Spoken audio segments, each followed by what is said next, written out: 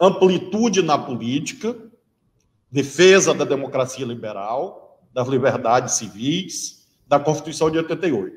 Uma agenda. Segunda agenda, agenda social, direito dos mais pobres, para evitar que o fascismo se enraize.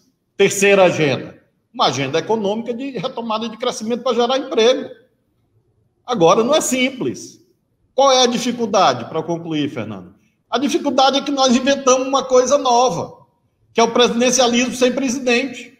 A gente já tinha tentado tudo. A gente já tinha tentado tudo na história brasileira. Agora é a primeira vez que a gente está no presidencialismo sem presidente. Aí nós temos que fazer uma. Ou, ou a gente institucionaliza isso, que é um longo debate, ou, é, ou Rodrigo, aí, é, aí mesmo no Congresso a gente vai fazendo, ele diz que vai vetar, derruba o veto e vamos levando para frente. Não é o ideal, e eu espero que ele queira levar o país até 22. Eu quero que o Bolsonaro perca a eleição na urna em 22. Uhum. Se depender de mim, ele perde no voto em 22. Agora, ele tem que também se ajudar, né? Para a gente poder ajudar ele.